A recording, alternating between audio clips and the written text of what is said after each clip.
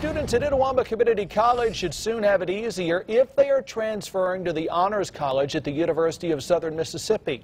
The two schools signed a deal Monday to provide those ICC students with what the school described as a seamless pathway to USM if they decide to go there.